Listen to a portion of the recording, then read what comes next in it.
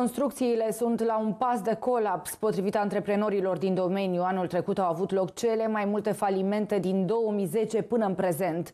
Reprezentanții patronatelor din construcții spun însă că PNRR ar putea fi un colac de salvare dacă banii vor fi distribuiți așa cum trebuie. Sectorul construcțiilor nu avea cum să fie altfel decât situația generală.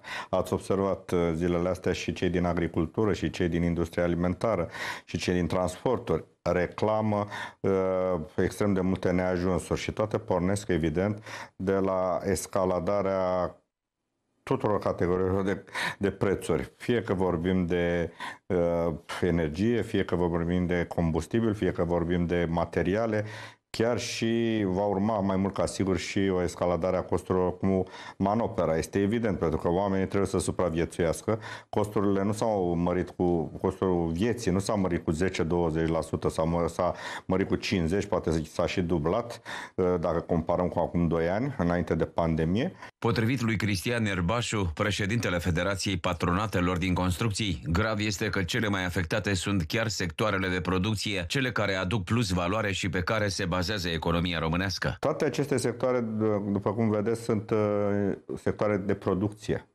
Exact acele sectoare care, pe de o parte, au dus greu în perioada, în perioada pandemiei, sunt acele sectoare pe care s-a bazat uh, uh, economia, a chiar în scădere fiind ea, s-a bazat pe aceste sectoare, pentru că știm că sectorul, uh, sectoarele de servicii, restaurante, hotel uh, au au suferit extrem de mult și sunt exact acele sectoare care în viitor vor trebui să uh, susțină intens revenirea economiei. Iar banii din PNRR ar fi o mare șansă pentru aceste domenii, spun reprezentanții companiilor din construcții.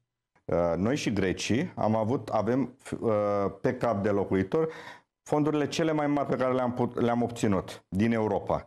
Însă grecii, de exemplu, au început deja investiții pe PNR. Noi abia încercăm uh, să găsim solu- modul de organizare prin care să derulăm aceste uh, investiții prin PNRR. Uh, până la sfârșitul anului trebuie să se facă uh, contractele de finanțare, memorandumurile. Pe ei deja au început să uh, contracteze proiectele